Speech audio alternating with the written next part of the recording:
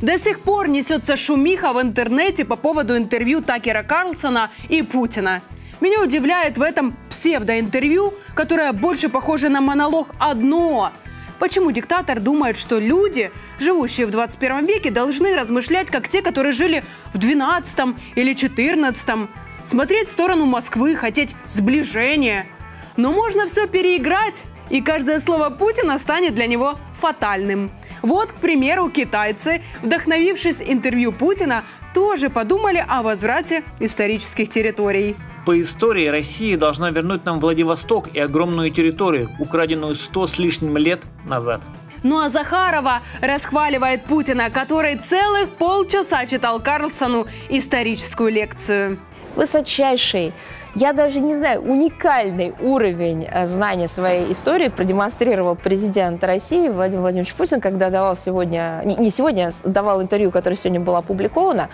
Вы знаете, после э, того, как на протяжении 20 минут без бумажки, без, кстати говоря, экрана, который обычно стоит у, всех американских деятелей, особенно президентов, они ставят экраны себе и читают с него.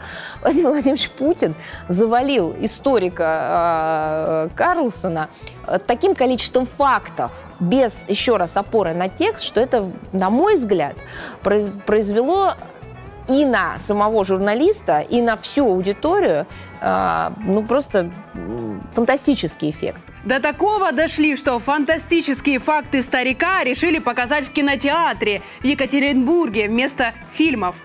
Интересно, а момент с судорогой вырезали?